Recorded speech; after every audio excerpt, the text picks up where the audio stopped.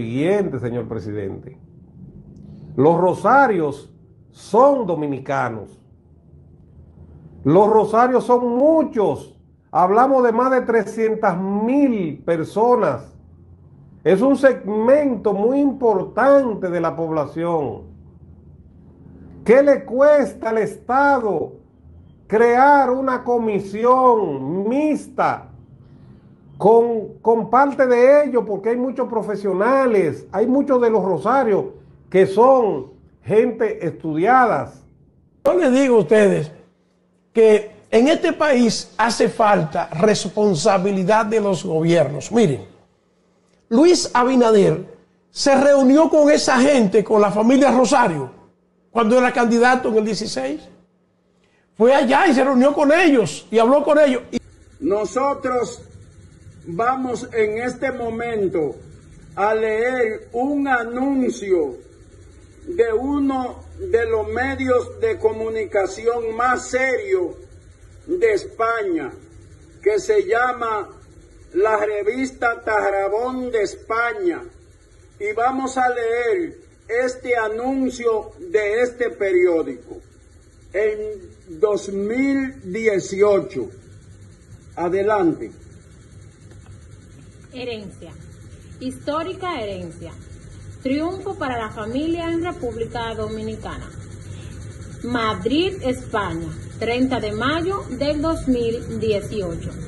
Por fin se acaba la espera. Hoy acaba una batalla de años entre la familia Rosario, gobierno dominicano y la Barrigol. Finalmente, hoy se envía a través del Banco Central de la República Dominicana lo que el señor Jacinto Rosario acumuló y guardó en los bancos de España.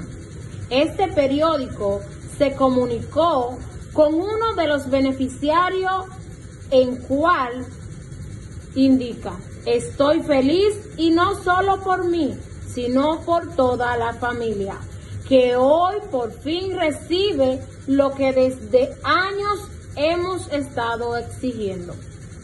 Se espera que en los próximos días Francia, Inglaterra y hasta Japón, donde también tenía cuentas bancarias el señor Rosario, envíe en los próximos días los fondos que éste había depositado en las instituciones bancarias de dichos países.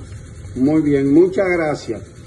¿Por qué las personas los magistrados que andan diciendo que esto es una estafa, no investigan primero y averiguan, indagan que el dinero llegó a la República Dominicana, que es la herencia más grande del mundo, y que llegó a este país y que en otros países ya las cuentas que estaban dormidas y que fue abierto el secreto bancario y dispusieron que las enormes herencias que han dejado nuestros ancestros le sean entregadas a los familiares. Como ven, la cifra que supuestamente está aspirando o que está esperando alguno de los miembros de la familia eh, Rosario es 15 seguida por 18 ceros. Una, una, cifra que es imposible uno cuantificarlo. Yo diría, y no, no, sin temor a equivocarme, que todo el dinero, todos los depósitos, todo el ahorro a nivel mundial, óigamelo bien, todo el ahorro a nivel mundial no llega a esa cifra de 13 trillones de euros de que los países de América Latina, los países de África se van a hundir en la pobreza extrema. No hay solución. La única solución es esos 700 trillones de dólares. No lo vamos a tocar, no estamos hablando de un impuesto, simple y llanamente los intereses de un año y que eso se pueda aplicar a los países de renta media o economías emergentes. En el año 2018 yo le entregué al expresidente Danilo Medina en su... me atreví a ir a su residencia eh, para esperarlo y entregarle a mano como yo solía hacer en actividades políticas, en inauguraciones, que yo iba a entregarle comunicaciones. En el supuesto informe de investigación que entregó al presidente Danilo en ese momento, firmado por Hilario de Asa, tuvo la osadía de amenazar al entonces presidente, afirmando que si sus cuentas no eran liberadas en esa misma semana, procederían a realizar algunas intervenciones en el país.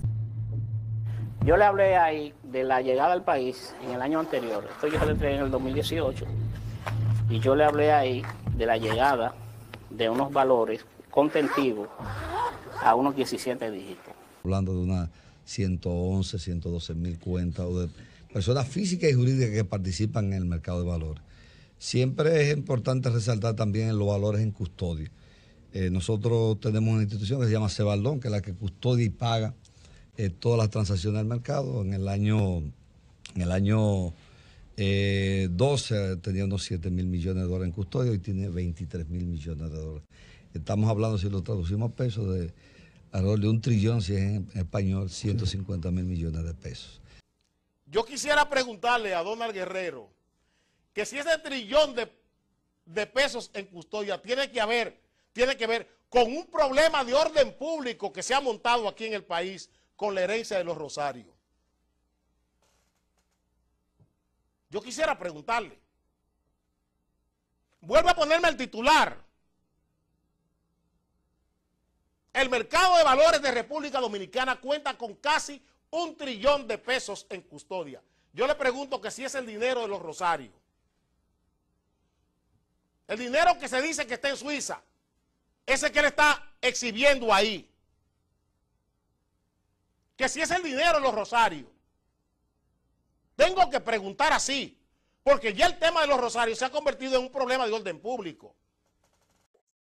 Yo, personalmente, con Justo, el coronel, con Hilario Amparo, con el difunto William y con el coronel Pedro Rosario, fuimos al banco, nos recibieron en el banco y yo vi con mis ojos lo que yo vi ahí.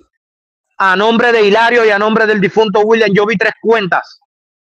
En peso dominicano no tenían nada. En dólares tampoco tenían nada. Pero en euro la cuenta sobrepasaba las 20 cifras. Lo vi yo y lo vio justo.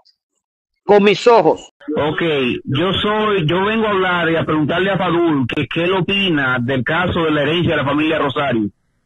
La familia Rosario es una realidad esa herencia. Entonces, eh, ¿usted, eh, ¿usted cree, doctor Fadul, que se quieren quedar con el dinero? Claro que sí. ¿Y eso es cierto que hay 13 trillones a favor de la familia Rosario? Eso es cierto. Hay que decir la verdad. La verdad sale del corazón, no de la boca. Ah, ok. Muchas gracias, muchas gracias por contestarme la llamada. Sí, la familia Rosario tiene trillones, porque hasta el momento, en lo que se ha dicho, se sostiene, no era como la familia de del varón de la atalaya de los Guzmán, que eso se, eso se diluyó en el agua y jamás se, se pudo hablar de eso. Pero esto es una realidad, según dicen las personas que están muy de cerca con eso, pero que el gobierno no le interesa. Y el Estado Dominicano tiene que dar una, una solución. Las autoridades financieras de este país, el Ministerio de Hacienda, Impuestos Internos, la Dirección General de Aduanas, el Ministerio de Economía, Planificación y Desarrollo, la Tesorería Dominicana, la Presidencia de la República en la persona de Gustavo Montalvo, deben darle una explicación a este país sobre ese problema de orden público que hay con la familia Rosario. El mismo problema que tenemos de orden público con Punta Catalina. El que ha robado que busque los cuartos, porque lo van a tener que buscar. Por eso vamos a pagar la deuda eterna, ¿eh?